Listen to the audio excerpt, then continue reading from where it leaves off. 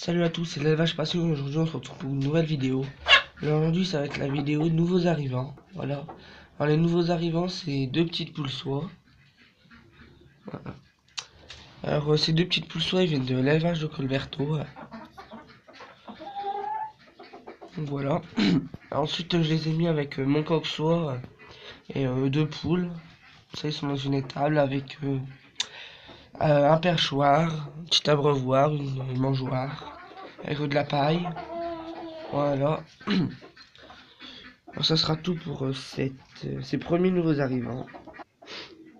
Ensuite, il y a aussi euh, trois petites poules raideries qui viennent de bah, l'élevage de Colberto aussi. Voilà, deux poules et un coq.